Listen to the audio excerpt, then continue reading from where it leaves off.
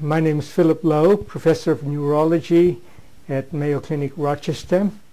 The uh, publication is a prospective one-year follow-up study of the postural tachycardia syndrome. This article, this study, um, is in press uh, in the Mayo Clinic Proceedings, and we look forward to its publication. Uh, postural tachycardia syndrome, or POTS, uh, is a chronic disabling condition characterized by orthostatic intolerance and the autonomic features of uh, orthostatic tachycardia. It's well known that the condition is chronic and uh, disabling. There's a lot of uncertainty as to its natural history. For instance, whether these patients improve over time or not.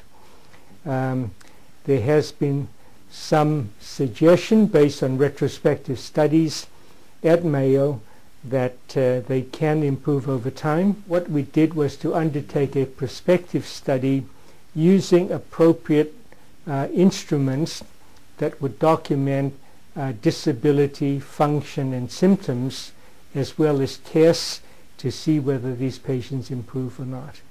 Um, what the study showed was that over 12 months, uh, patients indeed improved. We documented using a uh, composite autonomic symptom score called COMPASS, uh, which we developed and validated that these patients significantly improved over time.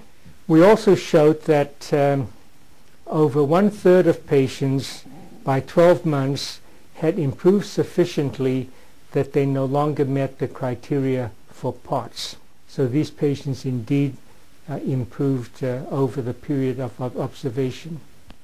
These findings are relevant in terms of practice because the score is um, developed in such a way that we look not only at symptoms but also of function. Patients tend to continue to have some residual symptoms but they can function at a higher level. And if we can document for them that over time they can do more things on their feet, they can go back to work, they can go back to school, etc. What it means for patients is that um, it provides them with encouragement, it also provides them with uh, direction. Uh, what it implies is that um, we teach them to maintain certain activities that increase orthostatic tolerance. Uh, they don't need to totally ignore their symptoms, but they can function at a higher level uh, in spite of them.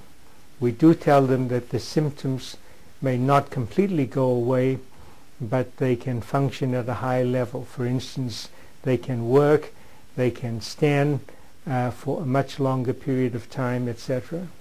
The next step is to see what we can do uh, for the refractory patients in terms of medications and in terms of uh, different type uh, approaches.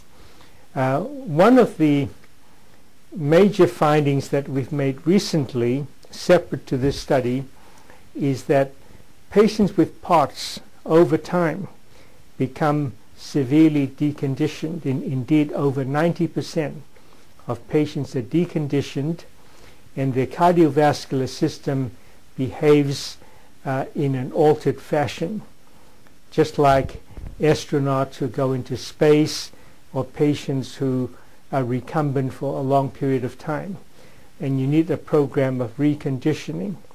Uh, it's possible with a program of exercise over about three months that they can restore normal physiology and function at a much higher level so that uh, that provides them with an additional uh, tool and direction.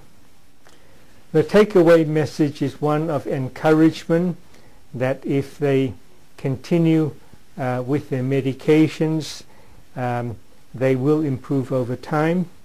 Th that is important and if we couple that with additional approaches, whether it's medications or whether it's exercise, um, they can accelerate uh, that improvement.